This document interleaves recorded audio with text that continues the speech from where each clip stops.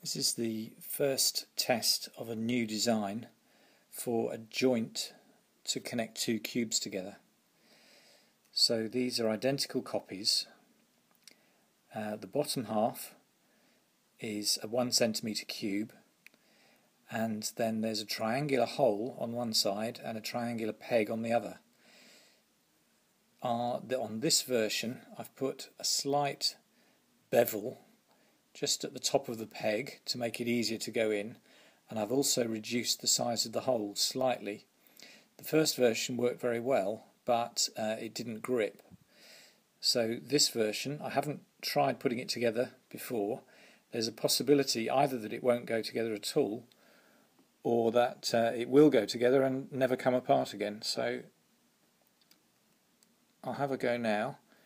I think it's going to be quite difficult because I've reduced the size of the hole.